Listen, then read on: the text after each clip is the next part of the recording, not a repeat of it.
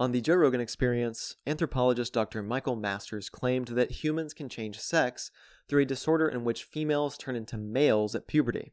That conclusion is false. The disorder does exist, but it does not involve sex change. So let's examine Masters' claims with scientific evidence.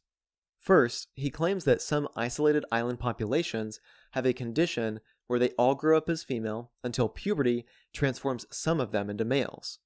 You know, there's actually this uh, in a small island in the Pacific.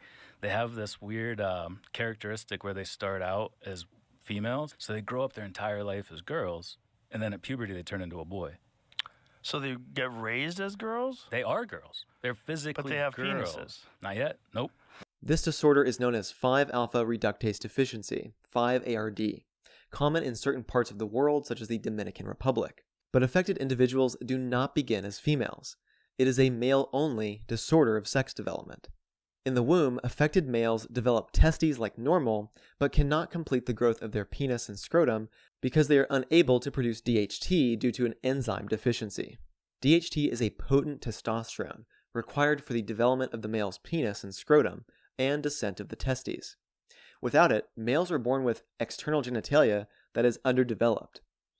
At puberty, the surge of testosterone from their testes is sufficient to cause masculinization of their external genitalia and body, with some experiencing descent of the testes and development of the penis and scrotum. These males were never females. 2. He claims that the disorder is caused by insensitivity to DHT.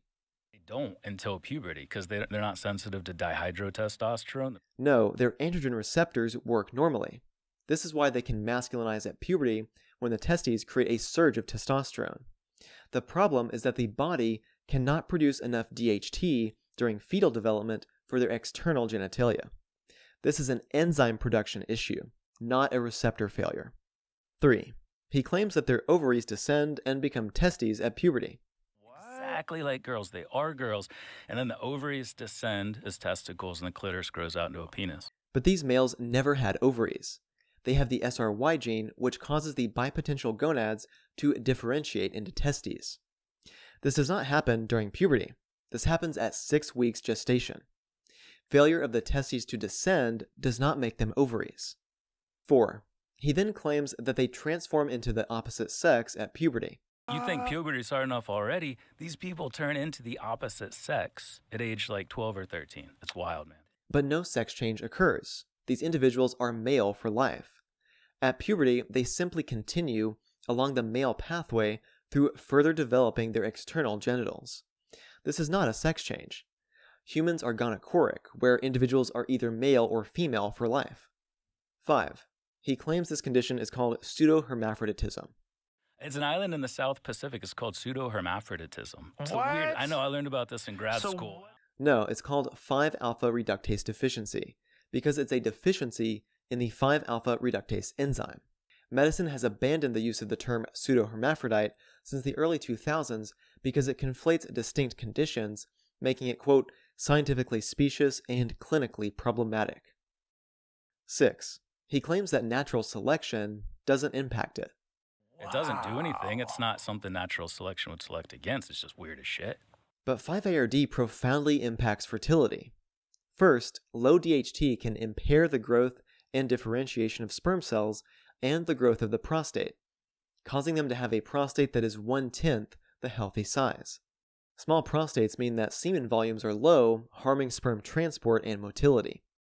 Second, undescended testes can also disrupt the careful balance of temperature for sperm creation. 7. Finally, Masters claims that we all start out as females. Ev- Everybody does. We all start out as females in utero, and then maleness is imposed on the developing fetus. No, we all start genetically sexed and physically undifferentiated before genetics drive us down either pathway. See our video debunking We All Begin Female for a concise explanation, and our longer animated video for a thorough deep dive. In conclusion, individuals with 5ARD are male from conception with testes and the SRY gene. The disorder only affects the production of DHT, leaving external genitals underdeveloped. At puberty, the surge of testosterone from the testes causes masculinization of the genitals. Therefore, this condition is an example of a male disorder, not a sex change. Now, I presented the above scientific evidence to Masters in a post on X. He responded to me with a BBC article describing how such males are brought up as girls and appear to have a vagina. And then he said, quote, This is true. No false claims involved. Perhaps some details were missed, as I am not a self proclaimed science educator in the biology of sex, but this is how it was explained to me in graduate school. Appreciate the troll, though. To which I responded, Not a troll. It's a scientific rebuttal of false claims about a disorder using in text scientific papers. The goal is to help educate others and stop the spread of misinformation about people with disorders of sex development, whose care is often harmed by false info. For more info on 5ARD, see our animation on the topic, along with our new book, The Sex Development Handbook, which covers 25 of these disorders with elegant diagrams and accessible commentary for a wide audience. Links are in the description. And if you'd like to support our work of restoring reality to science education, please consider donating at theparadoxinstitute.org. Your contribution funds the production and distribution of our educational media. We also have a new book written by Cynthia Brandy. This one's a children's book called It All Begins with Two The Egg, the Sperm, and the Start of You. It is completely age appropriate, beautiful illustrations, and you'll want to pick this one up for teaching your kids about the two sexes and where life comes from.